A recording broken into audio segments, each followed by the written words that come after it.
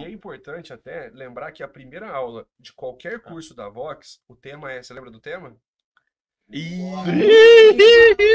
Ah, agora deu é, né, Naturalidade. naturalidade. Naturalidade. Por quê? Porque você tem que resgatar a sua essência. Se você falar tudo bonitinho, mas ninguém se conectar, Verdade, você é um verdade. péssimo comunicador. Não é falar as palavras mais bonitas, é falar de maneira que as pessoas se conectem com o teu jeito. Então, naturalidade é essencial. Garantir que a sua essência esteja presente na fala. E aí, quando você entende isso, você fala, não vou ter que ser outra pessoa. E aí fica tudo mais fácil, porque o medo não é de falar em público. Ninguém tem medo de falar em público. Não, E a turma às vezes tá estranhando, né? Como assim eu tenho? é, O que você tem é medo do julgamento, é de falhar. em Falhar e ser julgado. Tem não é aí falar, é falhar em público. É, É o falhar. que as pessoas vão pensar quando der errado.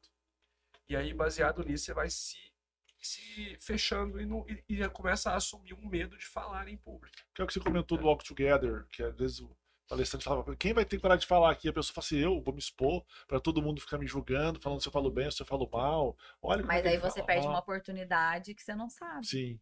Que podia mudar a sua vida.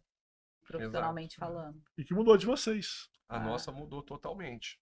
E não só a nossa, hoje já são aproximadamente 200, ou talvez um pouco mais de 200 alunos da Vox, e todos têm uma história bacana para contar. em Poços. Em Poços. E Em 26 É. mil alunos no Brasil 26 inteiro. mil alunos espalhados E todo o mundo Brasil. tem uma história legal, tem uma experiência boa. Isso faz com que a nossa missão como negócio faça sentido, sabe? É gostoso saber que as pessoas gostam de ir lá. Você falou isso de naturalidade, saber quem é pra pessoa descobrir. Você me lembrou um filme que eu tava assistindo antes de vir pra cá, cara. Aliás, é um filme muito bom. Que coincidência. Chama King Richard Criando Campeões. É a história da Serena e Venus Williams, que são as tenistas. Uhum. Não assisti, legal. Vale a pena. Toca nessa questão É. que você falou da Netflix? HBO. Tipo, Ah, a gente tem, né? legal. É. Vale a pena. É, dessa questão da naturalidade e de oportunidade de uma outra coisa que você falou que eu esqueci. Mas vale a pena. Você falou isso, eu lembrei. De perder a oportunidade de perder a oportunidade e, e o que você falou no filme, principalmente o Will Smith faz o papel do pai delas, ele não se transforma em outra pessoa, fala, eu sou isso. É, É. e tem aquele lado também, né? Que eu acho que vocês também. Eu tava comentando e brincando com vocês, que é.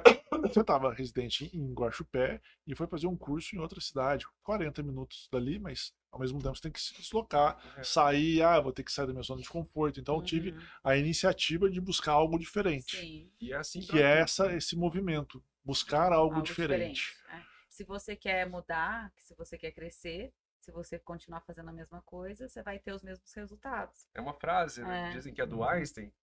Einstein também é o que mais dão frase pra ele. É. né? Nem sei É. se ele falou tudo isso.